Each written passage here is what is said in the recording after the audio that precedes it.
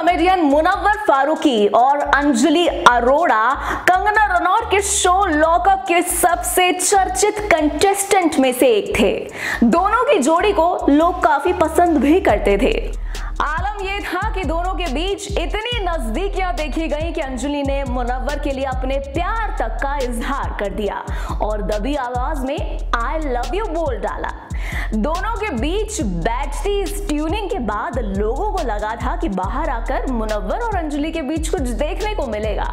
लेकिन अंजलि के फैंस यानी कि मुंजली के फैंस को धक्का उस वक्त लग गया जब मुनव्वर ने बाहर आते ही अपनी गर्लफ्रेंड नाजिल की तस्वीर इंस्टाग्राम पर शेयर कर दी।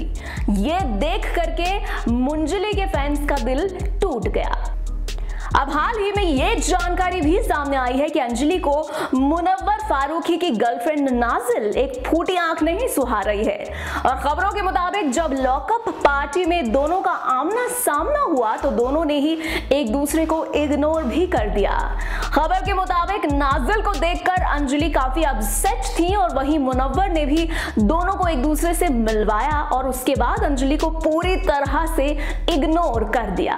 डांस नाजिल एक दूसरे को पूरी तरह से इग्नोर करती हुई दिखाई दी।